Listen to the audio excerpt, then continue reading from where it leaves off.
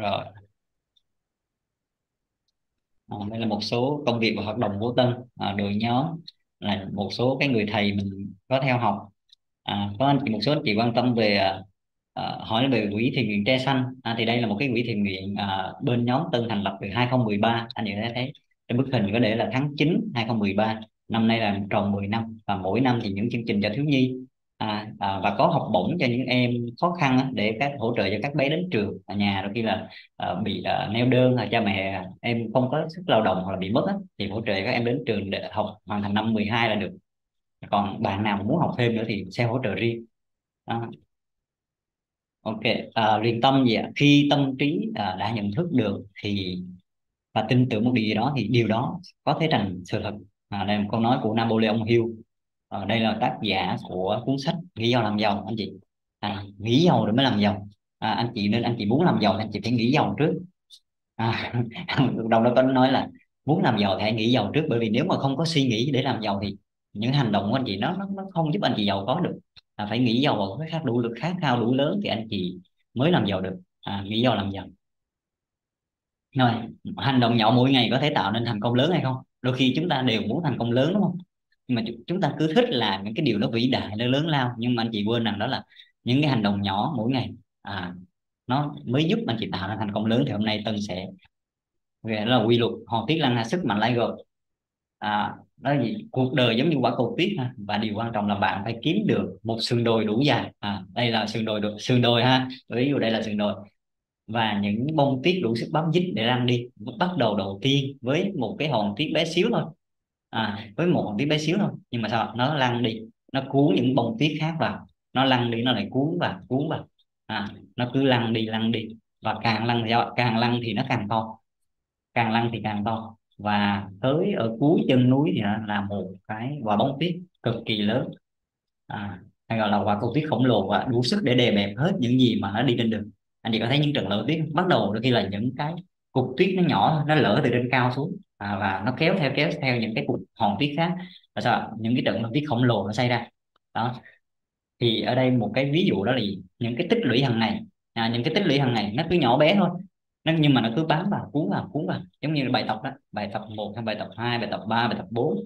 À, thực sự thì những anh chị làm bài tập xong đó, đặc biệt là trò chơi con số thì đừng có bỏ qua cái uh, những cái con số chúng ta vừa đi qua mà chúng ta hãy cũng áp dụng nó à ví dụ như qua con số 2 thì cũng thực hiện ưu tiên mới là con số 2 nhưng mà vẫn làm những cái con số 1 bởi vì chúng ta đi qua là chúng ta thực hiện nó sẽ rất là dễ.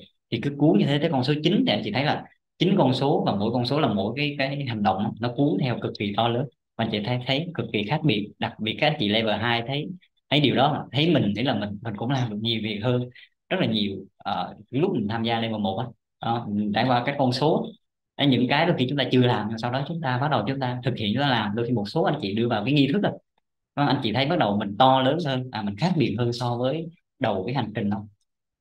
Ừ, nếu anh chị thấy điều đó thì anh chị có thể comment có gì để à, để tôi biết. À, và hãy làm sao? Không chỉ làm trong bài tập này và hành trình luyện tâm chỉ là khởi đầu để anh chị bắt đầu một cái quá trình rèn luyện thôi. Vẫn còn những cái chặng đường đằng sau nữa cần các anh chị uh, tôi rèn và chúng ta tôi luyện cả cuộc đời mà. À, chứ không chỉ là ngày một ngày hai các anh chị. Là hãy làm sao lăn cái hòn tuyết của mình. À, và cứ lăn đi lăn đi. Đó. và càng lăn thì nó càng lớn không à, ở đây cần cái gì ạ? Warren nói đó là cần thời gian đó để lãi suất kép nó nhân lên. Nên một số anh chị lại quá vội vàng. À, quá vội vàng thì Tân có phân tích trong một cái video đó là làm giàu nhanh đó chị. À, trong một cái cuộc đua 10 cây 10 cây số đi. À, chúng ta cùng nhau xuất phát nhưng mà các anh chị không xuất phát các anh chị để người khác xuất phát trước rồi họ chỉ còn cách đích khoảng tầm đâu đó khoảng tầm hai cây ba cây thì lúc này anh chị mới xuất phát để anh chị thấy ờ người ta sắp giàu rồi bây giờ mình phải giàu nhanh giàu nhanh giàu nhanh thì anh chị đang đứng vạch đích mà sáu một mười cây số anh chị chạy cái một cây là 6 phút thì 10 cây số anh chị phải chạy tầm 60 phút nhưng mà anh chị đứng mãi tới tầm 40 50 phút rồi anh chị chưa có chạy thì lúc này anh chị chỉ còn 10 phút để anh chị hoàn thành thôi thì anh chị nghĩ là anh chị chạy bộ có kịp với người ta không? Nếu như anh chị chạy bộ nha có kịp với người ta không? Ừ. mà cái tâm lý giàu nhanh đấy thấy người ta à, giàu sắp giàu rồi. Bây giờ bắt đầu anh chị mới chạy anh chị đứng lâu quá mà đứng lâu quá mệt quá bây giờ mới chạy. Thì anh chị nghĩ là nếu mà anh chị chạy bộ thì có kịp những người mà họ sắp về đích ừ, có hay không? Bởi vì cuộc đua sao nó là một cái luật chơi công bằng. Anh chị phải tự dùng sức anh chị. Anh chị không được dùng những cái những cái lực bên ngoài. À, anh chị chỉ cần dùng đôi binh thôi đúng anh chị cũng đã bị mất cái danh hiệu rồi sẽ bị tước đoạt danh hiệu ngay. Anh chị chỉ cần gian lận thôi. Anh chị sẽ bị uh, trút với cái, cái quyền thi đấu và giành lại hết các cái huy chương và luật nhân quả nó vẫn vận hành. Nhưng mà ở ngoài kia đa phần chúng ta đang muốn tâm lý làm giàu nhanh rất là nhiều. Anh chị thấy điều đó mà à, xuất phát cùng với nhau nhưng mà anh chị không xuất phát anh chị cứ đứng chờ người khác xuất phát. À, sau đó thấy người khác bắt đầu giàu họ có tiền rồi. Lúc này mới bắt đầu là chạy đua à, sao lại tôi chỉ có tiền sao vậy tôi dày này kia? Tôi phải làm giàu nhanh nhanh nhanh liền liền liền. Thì lúc này anh chị có một cách để giàu nhanh đây sao ạ? Anh chị giống như cuộc đua thay vì chạy bộ anh chị lúc này anh chị chạy xe máy. Thì nó không nó không làm đúng luật cuộc đua nữa. và luật nhân quả vận hành là sao? Anh chị sẽ bị loại ra khỏi cuộc chơi ngay. Vì bởi vì anh chị làm sai luật. Ừ. nên là làm sao? Chúng thì bài học là gì ạ? Bài học là gì? Đó là hãy bắt đầu ngay bắt đầu sớm. Được chưa? Giống như cái câu chuyện nuôi thỏ đó. À, đầu đến mình giống như câu chuyện nuôi thỏ đó là sao? Phải bắt đầu ngay. Và với những hành động nhỏ thôi. Và cứ tích lũy hàng ngày giữ lại giữ lại hàng tích lũy dần giữ lại. Thì dần dần nó sẽ tạo ra một cái quả cầu tuyết rất là to đó. Đây rồi đó là cái tinh thần về lãi suất kép ha ok và cùng xem cái bức tranh với lãi suất kép à, những hành động nhỏ mỗi ngày thì nó sẽ như thế nào? À, đâu rồi bảng tính à, đây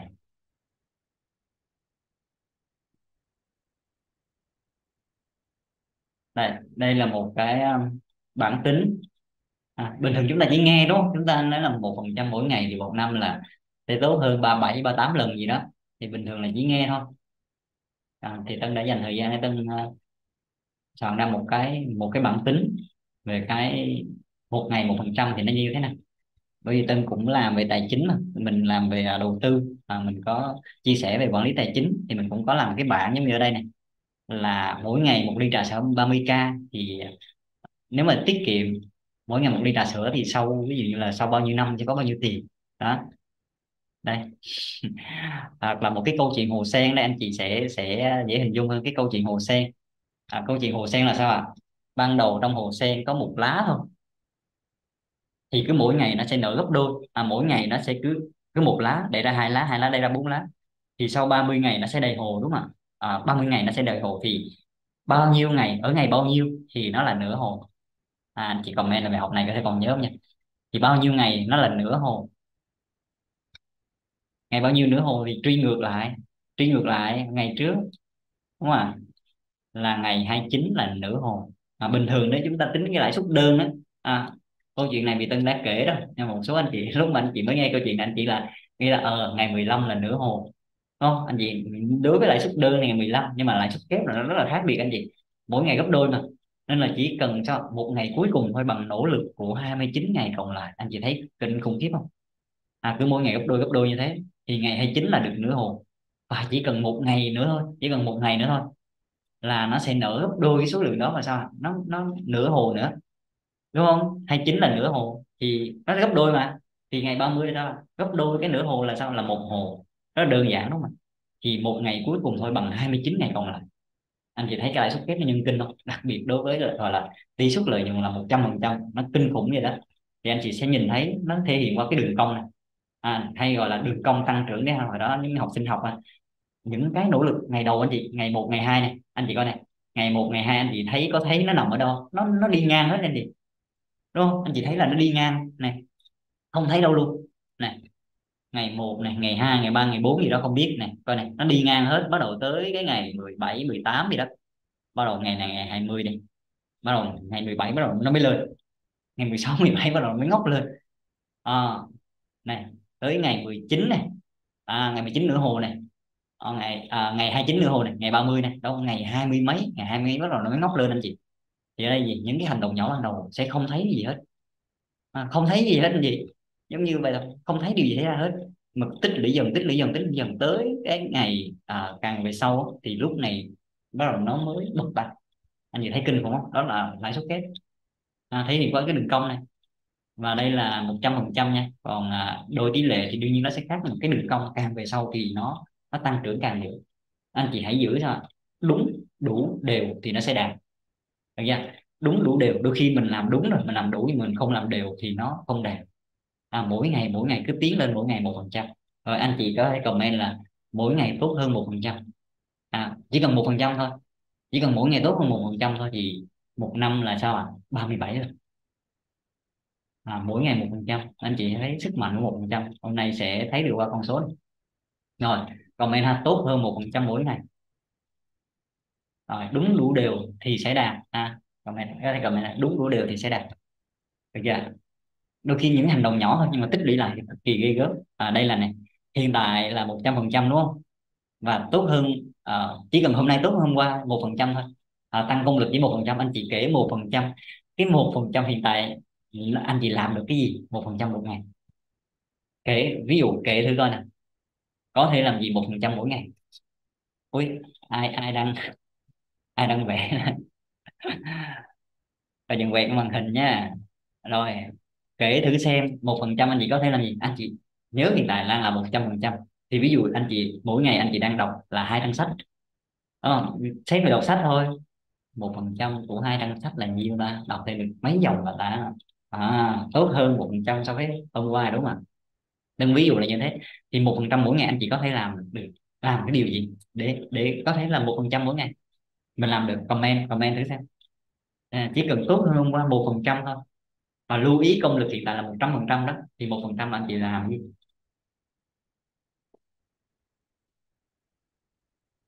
Thân ví dụ như dễ hiểu vậy khía cạnh nó có 8 cái bánh xe cuộc đời đúng không? 8 8 mảnh ghép à, bánh xe cuộc đời có 8 mảnh ghép. Này chia ra mỗi mảnh ghép cho là 12 12 phần trăm mình đang làm gì đấy đó, thì một phần trăm của mảnh ghép đó là mình làm gì? À, thay vì giống như cúc này hôm nay bình thường là à, 6 giờ dậy 10 à, 11 giờ đi ngủ đi ví dụ như thế. Thì bây giờ dậy sớm hơn à, mỗi ngày chỉ cần một tiếng thôi. Một tiếng là cũng nhiều đó nhiều hơn một phần trăm đúng không là một tiếng thôi là 5 giờ dậy vẫn 11 giờ đi ngủ tận dụng thêm được một tiếng à tận dụng thêm một, buổi tiếng à, rất là tốt để rồi sau một tiếng nó gì à? chúng ta làm những cái việc nữa. À, thì nó không chỉ là một phần trăm mà nó đã cộng thêm rất nhiều phần trăm. Rồi một phần trăm mỗi ngày các anh chị có thể làm được điều gì nè? À, ít ít thôi vừa vừa thôi. Ý là một phần trăm là tập yoga là bình thường mình tập là uh, giống như mình bình thường mình tập 30 phút chẳng hạn. Thì bây giờ mình tập 35 phút mình tập thêm 5 phút không ví dụ vậy. Hay đọc sách thì mình đang đọc là 5 trang thì bây giờ mình đọc thêm nửa trang nữa là năm trang rưỡi. Hôm sau mình đọc là 6 trang. Hôm sau mình nâng lên nâng lên nâng lên. Anh chị nắm được không ạ? Một phần trăm thực ra nó nhỏ lắm. Một phần trăm của một trăm phần trăm công lực anh chị nó rất là nhỏ. Hãy chia ra. À, hãy chia ra. Anh chị thấy tích lũy từ những cái nó nhỏ nhất. Đấy dễ không? Bây giờ anh chị kể ra thấy là một phần trăm mỗi ngày nó dễ không anh chị? Để làm được nó dễ không? Cứ làm những cái to tác là gì? Làm những cái nhỏ nhỏ thôi. Bây giờ hôm nay sẽ thấy cái con số nó phụ cỡ này. Đúng không đây. Là cái phần à, thặng dư mỗi ngày. Anh chị thấy thặng dư này. Là sao ạ? Cái ngày đầu tiên là thặng dư của một phớt không một phần trăm. Lãi suất kép của cái cái ấy cũ mà. Nó nó rất ít này anh chị. Nó nhích có 0.01 phần trăm mỗi ngày thôi. Tại vì lãi suất kép lên nha. Đó. Đây anh chị thấy được bảng đó để tân phóng to lên để bảng này không có. À, rồi để anh chị thấy con số nó dễ hơn đúng không? À, ví dụ ở đây à, mỗi ngày anh chị tốt hơn một phần trăm thì hoàn thành cái chuỗi test 21 ngày này anh chị được thêm 23 phần trăm. Không? 23 phần trăm. Lát sẽ lát sẽ thay số để anh chị thấy khác biệt ha. Vì bởi vì nó anh chị đang làm bài tập chuỗi này không phải là một phần trăm anh chị rất là nhiều phần trăm. Rồi à, tới tới à, tới ngày 100 đi. Hoặc là tới ngày 100 thì bao nhiêu? Rồi tới ngày trăm hai đi. Trăm hai là tầm ờ, uh, 4 tháng.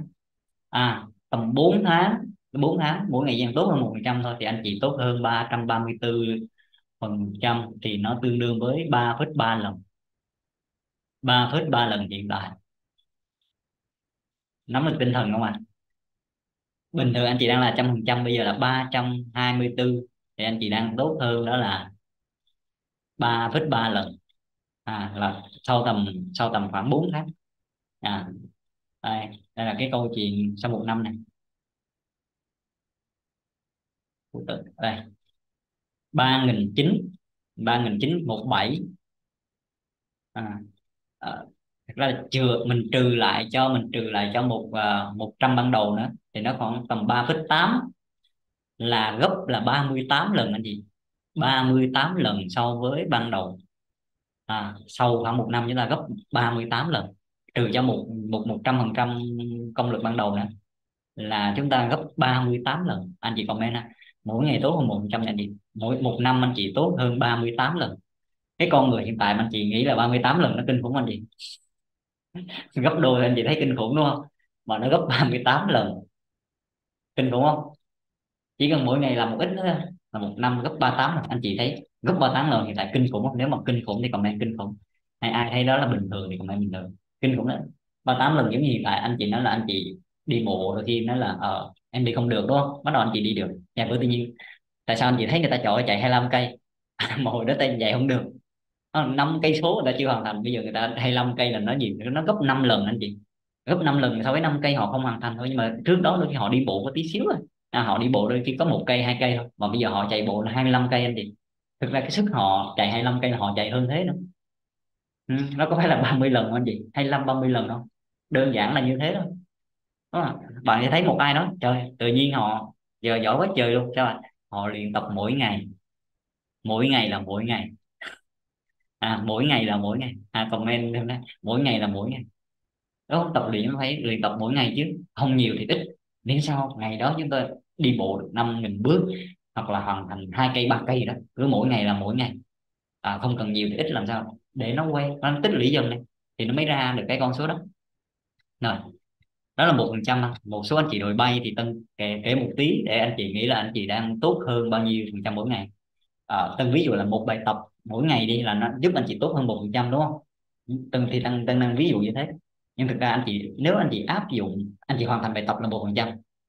Anh chị áp dụng vào cuộc sống của anh chị nữa. Nên nhớ chúng ta ứng dụng làm sao nó mang lại hiệu quả áp dụng trong cuộc sống nữa đúng không? Trong công việc trong mối quan hệ. À kể cái sức khỏe đó bài tập gì anh chị phát triển ra sức khỏe nữa thì phân cho thêm một phần trăm nữa.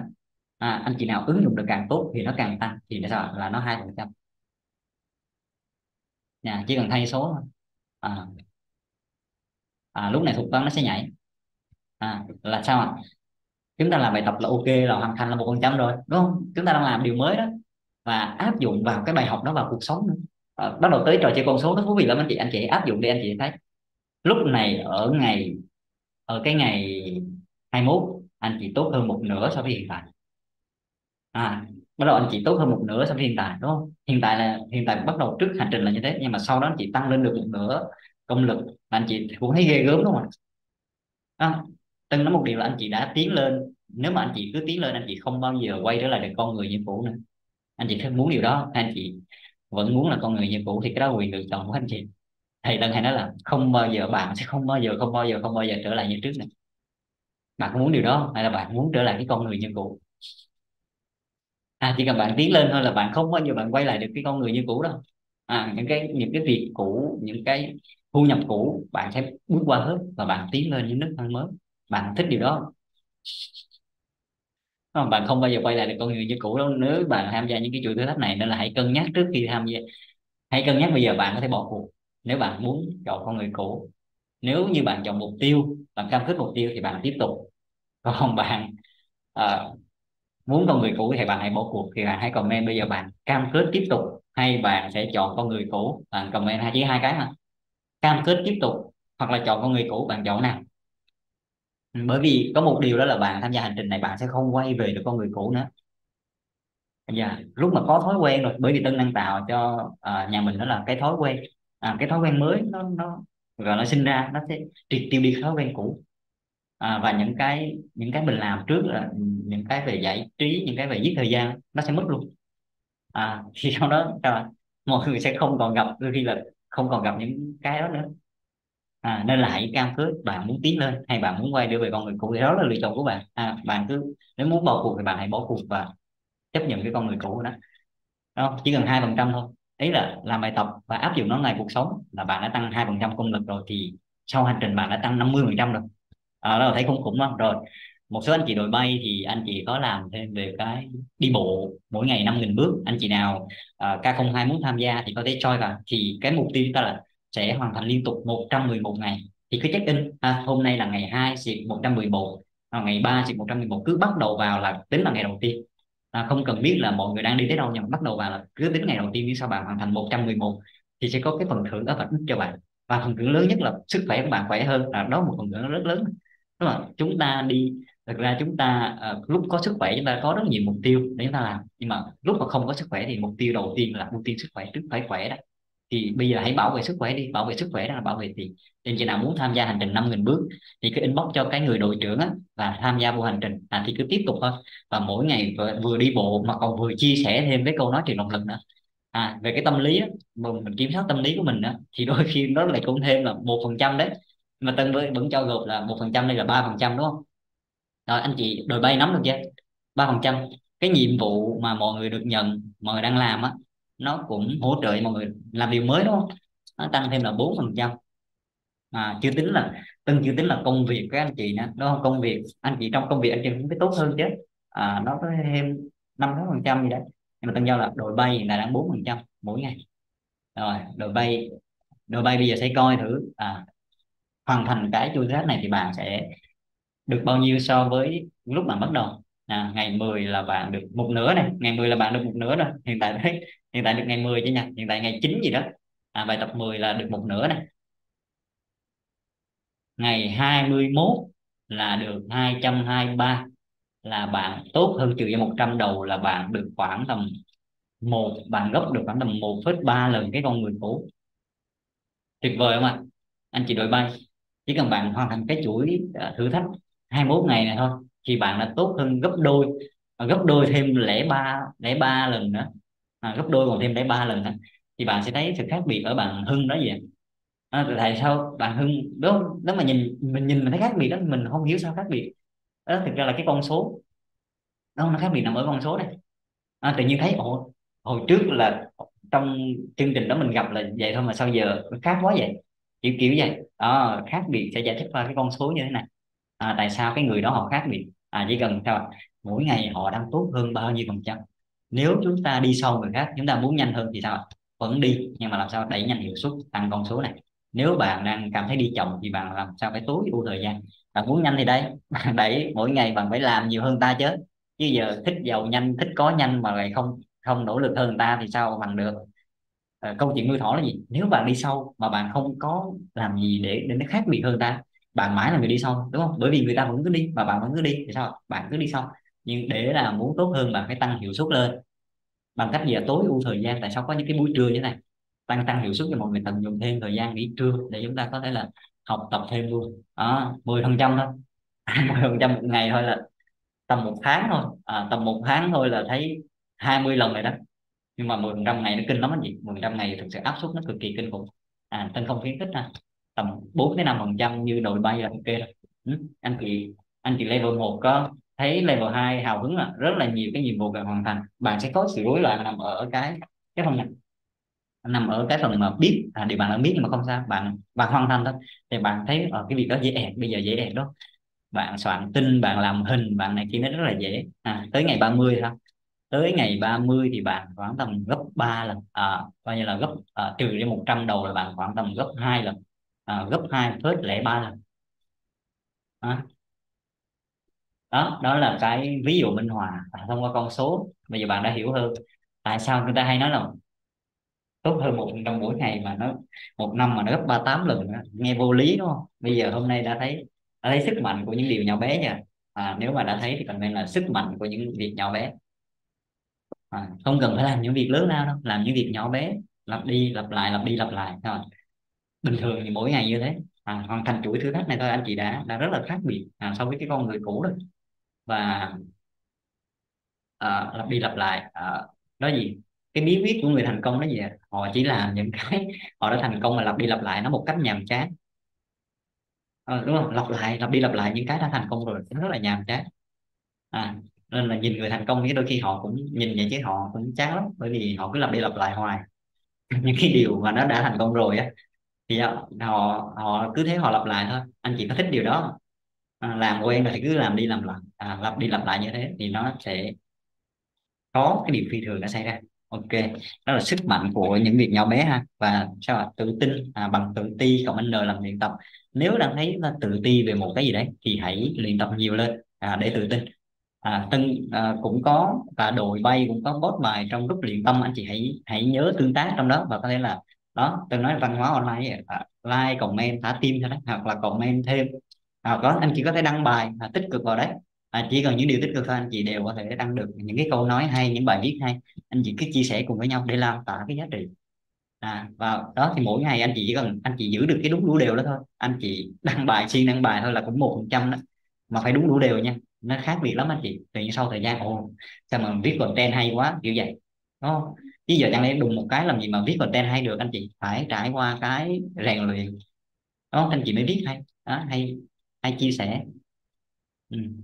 đội bay là level 2 nhé nên là anh chị nào có hoàn thành cứ hoàn thành trước đi và bạn thực sự bạn cam kết và bạn có một sẽ xét nữa bạn có một cái cái mong muốn đủ lớn đó và bạn đang muốn thực hiện cái gì đấy à, một cái chương trình gì đó chẳng hạn thì bạn sẽ được xem xét để để vào đội bay. À, cũng có thể level 2 mà không đội bay đâu anh chị bởi vì anh chị phải có một cái khát khao đủ lớn à, xây dựng những cái chương trình cho mình và phụng sự.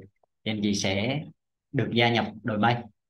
Được nha. À, bởi vì lúc này không làm bài tập đơn thuần nữa mà anh chị đang xây dựng cái cái tương lai của anh chị đấy. Ừ. và nhớ cái mô hình rung theo đó cái số giờ cần thiết.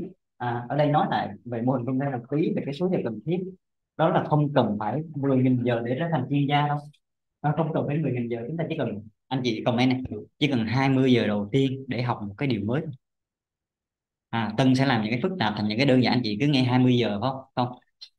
À, 10.000 giờ không 20 giờ đầu tiên để học một cái điều mới. Được chưa? 20 giờ đầu tiên để học một cái điều mới. À, comment là 20 giờ đầu tiên. Ừ, chỉ cần 20 giờ đầu tiên thôi. À, điều mới là sao? Phải tập trung nha. Ý là điều mới? Phải phải tập trung. À, bởi vì lúc mà không tập trung thì không được tính cái số giờ vào đó. Ví dụ như là rèn luyện giống như cái chuỗi thử thách này. Mỗi ngày chúng ta nhận một bài tập và chúng ta để tâm vào nó chúng ta làm nó dành cho nó uh, cái thời gian ví dụ như xem video làm bài tập. Đấy thì mỗi ngày chúng ta tích được một tiếng. À, gần một tiếng.